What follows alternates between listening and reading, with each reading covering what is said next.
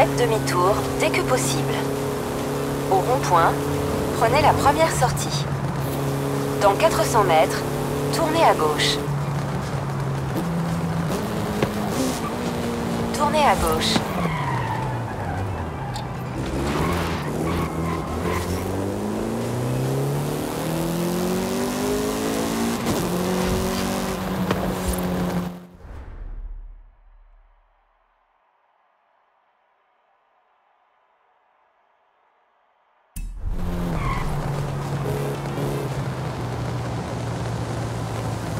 Vous avez atteint votre destination.